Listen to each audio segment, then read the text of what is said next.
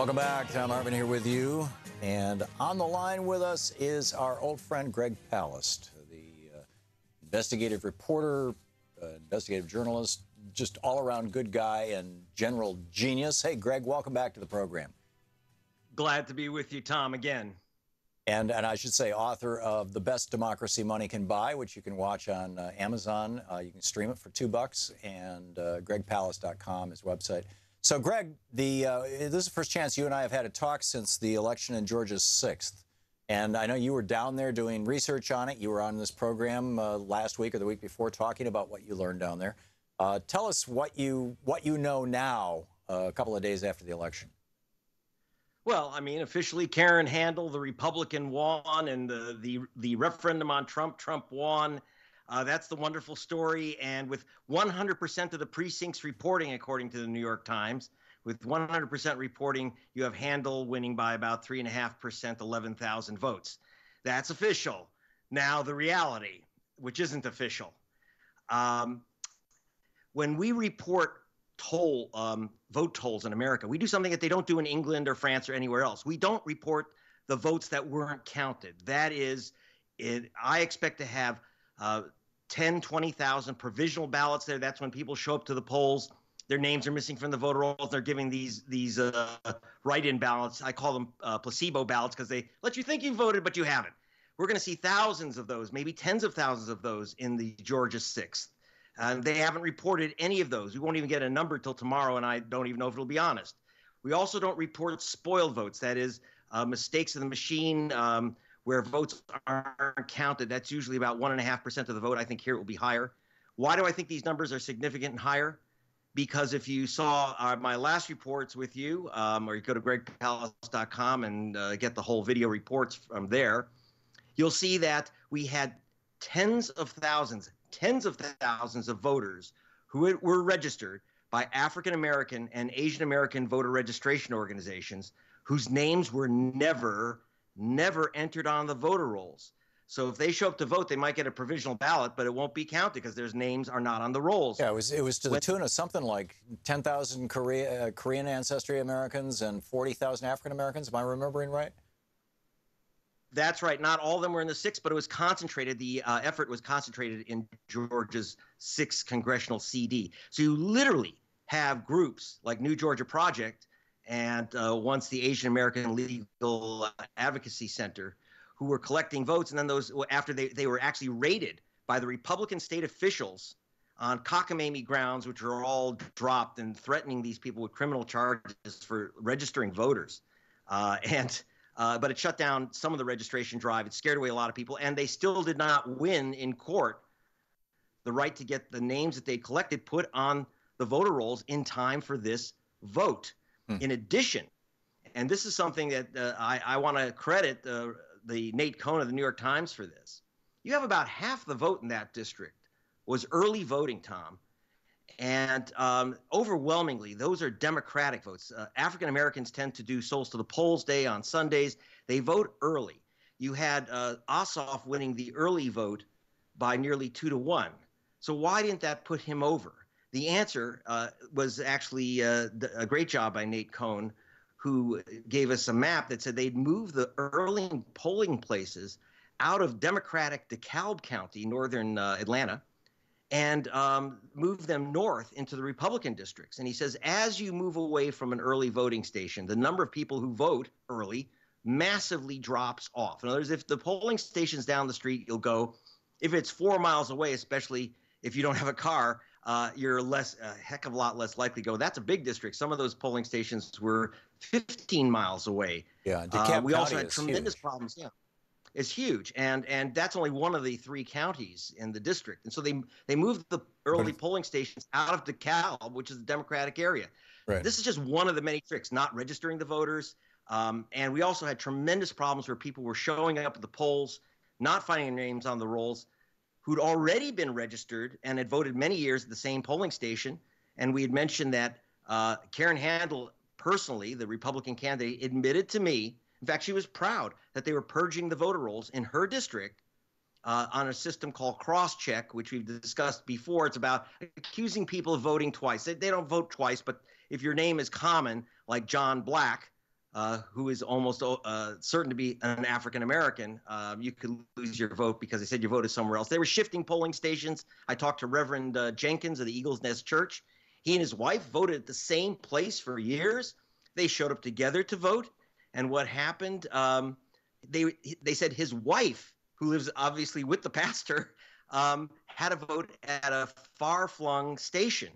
So she went to the other station. This is a husband and wife at the same house shifted. She showed up at the other places. Oh, you're not listed here. You'll have to fill out a provisional ballot.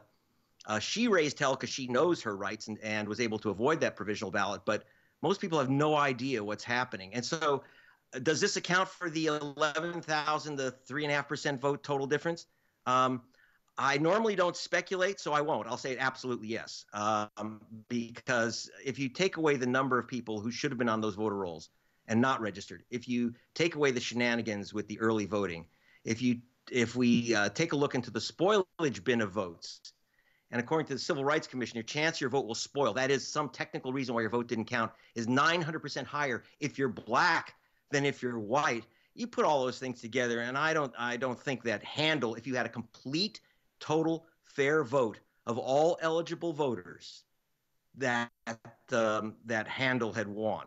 So yeah, so Trump won his referendum the way Trump won his presidency by shoplifting it. Right. This was voter suppression.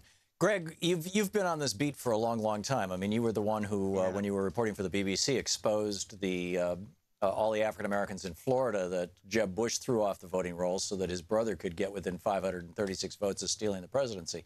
Um, yes. Why is it that the media absolutely, with the singular exception of Joy Reid putting you on her show on MSNBC over the weekend, uh, to the best of my knowledge, that's about it. Why is it that the media in this country and the Democratic Party, for that matter, why is Nancy Pelosi not, you know, the the night of the, the election or or today as as these numbers are coming out, why are the Democratic Party and the corporate media in this country not discussing this? Well, this is very interesting. And by the way, I want to underscore your point in this country. I work for the mainstream media in the rest of the world. That is BBC, Rolling Stone. Oh, well, Rolling Stone here is not the mainstream. BBC, The Guardian. These are the main English language news outlets of the world. And so uh, these reports are mainstream. The rest of the world does know what's going on, but we don't. Why? Well, you bring up Nancy Pelosi, who's actually talked to me and is a big fan of mine. Why doesn't she bring these things up? You know, this is factual matter. It's, I'm not speculating. Uh, we know that these uh, that the, the groups uh, uh, had registered tens of thousands of people in the district, and and their names never appeared. This is in court records. Uh, why don't they bring it up? Because they've started this trope, the Democratic Party, that the Russians stole the election. The Russians, the Russians, the Russians. And when Donald Trump said he might not accept the results of the election, the Democratic Party and Hillary Clinton began with no Democratic candidate or no candidate in for president in history has ever challenged the vote, the presidential vote. That's insanely wrong. Most in our history, in our 200 year history, you know, Tom, uh, that uh, uh, half the elections have been challenged. And Al Gore went to the United States Supreme Court to overturn the results, the clearly fixed results in Florida. Right. So, but the Democratic Party has decided that anyone who brings up, who says that the American electoral system is anything but the the envy of the world, to use Joe Biden's phrase. Um, you know that that you're suddenly a conspiracy nut. Um, you know, um, it's just like they switched on Comey. He was he was the devil itself. I mean, Hillary Clinton blamed him for her loss. Now he's uh, Martin Luther Comey, a man for all seasons, because he's now attacking Trump. So range of permitted. So are you are you suggesting that the Democratic Party is essentially not capable of chewing gum and walking at the same time? I mean, uh, why can't you say, "Hey, we have questions about you know what the Russians might have been doing," and our voting system is you know our people of color are getting thrown off the vote all over our country. Well, you know, you'll find something interesting if you look at the reports. You'll get a few reports about what they call vote suppression, which is a term I, I despise. Someone steals your car, Tom. You don't say, my car's been suppressed but it's right. vote theft. And you can talk about vote suppression, uh, uh, a fuzzy term. Before the election, you'll have a couple people uh, like Barbara Arnwine, some experts say, oh, the ID is is reducing uh, the ability of African Americans to vote and poor people and students to vote. By the way, the ID laws are the worst in the nation in Georgia, and they were designed by Karen Handel, the candidate, when she was Secretary of State. So she designs the laws that make it easier for her to win the vote and, and stop. I don't mind if she wins. The problem is that if she wins by stopping black people and students from voting, which is what she did, um, you know, we, you'll get us a few stories before the election, never, ever after. You just don't see any stories following up saying, well, exactly how many votes did the ID laws in Georgia uh, block? We know that in Wisconsin, a study by the Brennan Center put it at 300,000 uh, people lost their votes because of ID laws. Uh, so you think about Georgia, which is worse, and and the six CD. I mean, between ID laws, between the cross-check purges, between failing to register people, between uh, provisional ballots thrown in the garbage, um, it wasn't a fair vote, and you won't get that. You won't. They won't allow that story to come out because it breaks the myth of the wonderful American democracy we have. Yeah, well, that's a sad thing.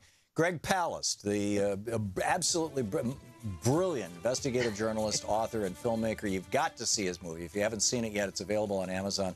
The best democracy money can buy. GregPalast.com, the website. You can tweet him at Greg underscore Palast, P A L A S T. Greg, thanks so much for being with us.